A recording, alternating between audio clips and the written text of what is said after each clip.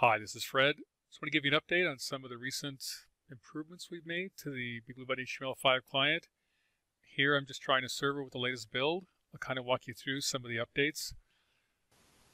Test, test. test. We're currently the only person in this conference. So first thing you notice, we kind of made the start, stop, record button look a little bit more like a button. So the moderator would see this, students would just see it change state.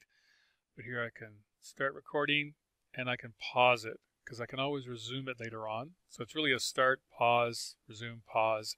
And at the end, the recording will be all the segments that were between the start and the pause. Down below, we've uh, made this, the controls for the presentation area always under the presentation. So I can change it. I can zoom in. I can zoom out. Uh, I can make the presentation full screen. Exit it. And this will be fit to width if I had a portrait uh, document. The, the next, uh, we've made the welcome message in the chat stand out a bit more, so it's a little bit easier to see. And I think that's all the updates we've made so far. Lots of stuff under the hood, lots of bugs fixed. Thanks everybody for all the feedback they've given so far, trying it out, uh, telling us what they found. We're going to, uh, by the time you see this, this update will already been released. Keep trying it out.